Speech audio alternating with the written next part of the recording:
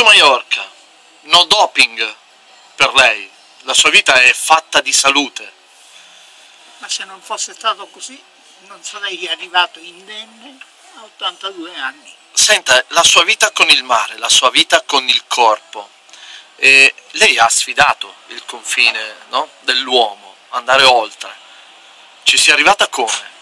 Io non ho sfidato niente, io ho sfidato le, le credenze false dei medici, i quali ritenevano che superando determinate profondità il mare avrebbe schiacciato l'uomo, ma così non è stato, perché c'è una forma di compensazione spontanea eh, che ci ha fornito il supremo architetto dell'universo, ci ha dato quello che i medici oggi chiamano il blood shift, cioè lo scivolamento del sangue dalla periferia al centro a proteggere che cosa?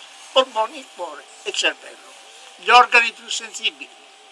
E noi grazie a questo scudo di sangue, dico noi perché non è un qualcosa che riguarda solo me, ma riguarda tutti quelli che superano determinate quote grazie a questo scivolamento di sangue l'uomo può superare determinate cose. Quindi non c'è bisogno di usare una spinta medica, no? Ma Da laboratorio. Carità, carità, queste sono le cose che mi fanno, mi irritano terribilmente. E si vede il suo sguardo è cambiato.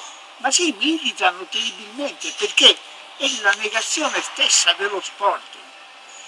Perché sport significa intanto darle la definizione di sport. Io non sono buono perché tanti altri ci hanno tentato, ma sono falliti, hanno fallito tutti miseramente.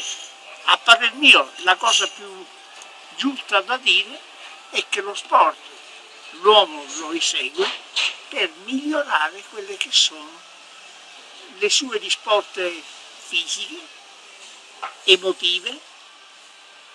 E quindi lei, cap lei capisce che il doping è la negazione di tutto ciò, quindi la negazione dello sport. Può essere una tentazione il doping? La vede come tentazione?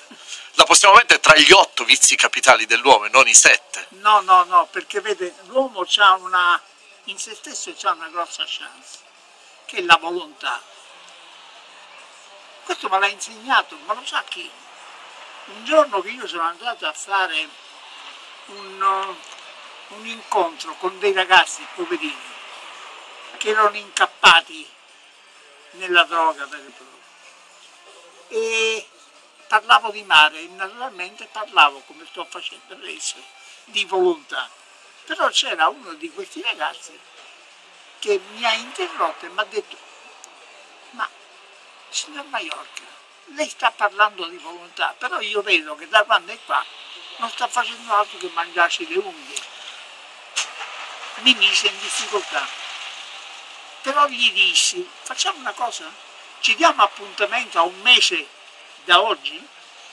Ci siamo dati l'appuntamento. Lei si è presentato con le unghie lunghe? Ce l'ho tutto. Ah, ecco, perfetto, guardi Dopo qui, ecco, qualcosa- inquadriamo, la inquadriamo, è bella Dopo sta cosa. qualcosa come, diciamo, 75 anni che mi mangiavo le unghie, mia madre con me le aveva Le provate tutte?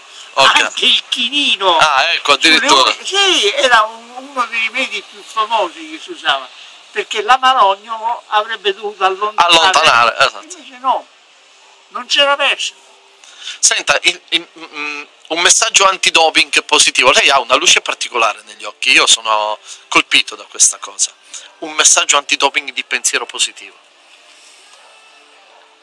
Parlavo di volontà. Il bello è che l'uomo con la volontà che deve esercitare quotidianamente, perché anche l'allenamento prevede e prescrive l'allenamento alla volontà, può fare quello che vuole. L'uomo purtroppo, perché certe volte l'operato dell'uomo è diretto verso il male, ma purtroppo, anche se doveva essere positivo, ma io non riesco a essere totalmente positivo perché ho 82 anni, quindi ne ho viste di cotte e di crude, eh, me la lasci passare. E dicevo, deve indirizzarsi sempre a superare tutte quelle situazioni che potrebbero essere di ostacolo alla sua visione del, del mondo in genere, perché l'uomo si deve muovere sulla terra e è soltanto il superuomo quello che riesce a librarsi da una montagna a un'altra senza soffrire, ma l'uomo deve soffrire. E chi pratica lo sport deve soffrire perché deve allenare se stesso a sopportare sovente sono delle situazioni anomale. Per esempio il fatto di dover superare i 100 metri di profondità. E io mi rendo conto che per un uomo prima questi, questi metraggi potevano la Sicilia. Benedetta. Giro giro giro giro. Giro anche se eccola lì perfetto. Che meraviglia. Certe volte mi chiedono ma lei dov'è che vorrebbe abitare? Qua. qua. Ci sono dei ponenti bellissimi.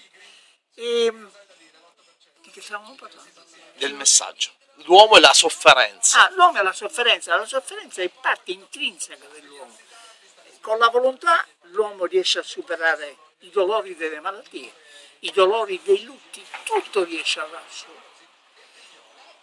Io ho perso sette anni fa, noi anzi, non io soltanto, mia moglie Maria, Patrizia e mia figlia, una delle persone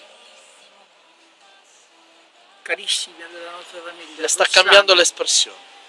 Eh beh, Le sta cambiando l'espressione. Io non lo faccio volontariamente, sì, questo sì, sì. non dipende dalla mia volontà, ecco, lo faccio perfetto. involontariamente, ma perché ricordo che proprio il 6 gennaio del 2005 ho dovuto chiudere gli occhi a mia figlia Rossana morta per tumore.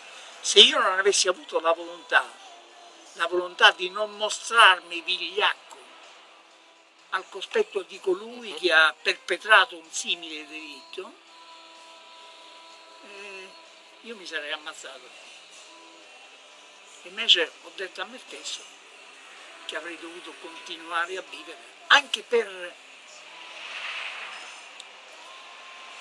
mostrare ciò che l'uomo può fare, restare in piedi Posso?